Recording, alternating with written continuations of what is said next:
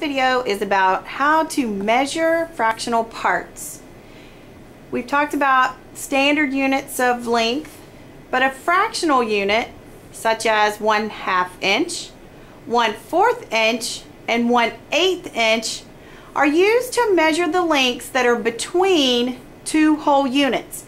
So when you're measuring, if it doesn't land right on the one or right on the two or right on the three, then you're going to be measuring with fractional units. Okay? Measuring to the nearest fractional unit is kind of like rounding a number. You're going to have to find that smallest space in between the one and the two or the two and the three or between any of the whole numbers. And when you do that, it's kind of like rounding a number.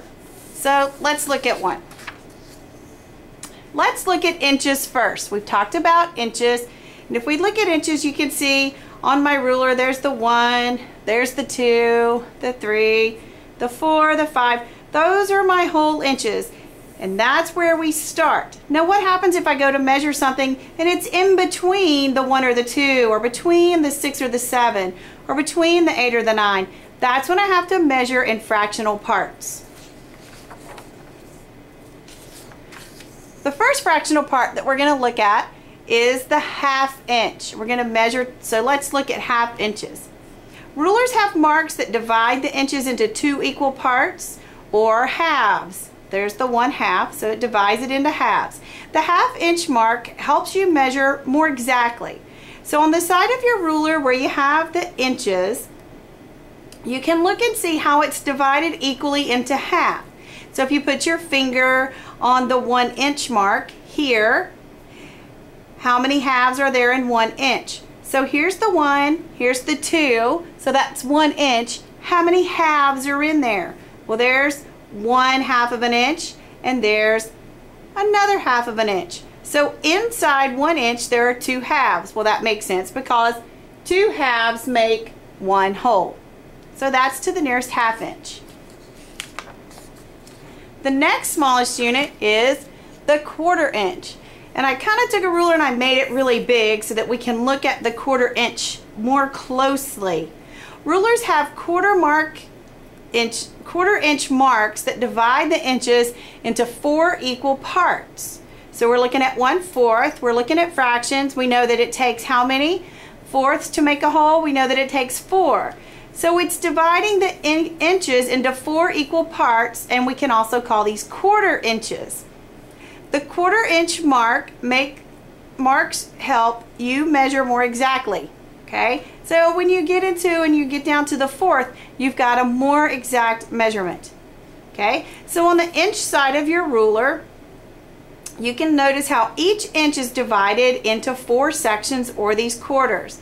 So here's an inch, again on my giant ruler. And there's the one. And we've talked about the half. So there's one half of an inch. There's the other half of the inch. And if you look in between each half, you'll see that there are more marks. So from this zero to here, there's a quarter. There's another fourth. There's another fourth. And there's another fourth. So inside we have four, one, two, three, four quarter inches. So there's your one fourth. And those are the fourths that make up the one inch. And you'll see that two of the fourths make one half of an inch.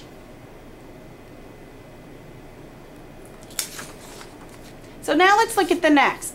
The next mark on the ruler is the 1 8 inch. So I've got my giant ruler again and I've divided it up even more and made some marks. Rulers have a 1 8 inch mark that divides the inches into eight equal parts. The 1 8 inch mark helps you measure more exactly. Okay, so find the inches side on your ruler and you can look and see now how each inch is divided equally into eight equal sections because we're working with those fractions so we know it has to be eight equal size pieces all right so here's my one inch we talked about a half and how there are two halves to make the one inch then we talked about the quarter and there's one two three four one fourth inches and so now if I take even less of it and I take half of my one fourth, now I'm looking at an eighth of an inch. And here I can see there's one, two, three, four, five, six, seven, eight one eighths, and they're equal size pieces. So this helps you to get an even more exact measurement when you measure something. If it doesn't quite go to the one, we can round it off. So if I put my hand down here, I can see it's not quite this long, so I can bring it back and round it because that's how I'm getting my measurements. Obviously my hand is bigger than an inch, but that gives you an idea of how to use your eighths, your fourths, and your halves.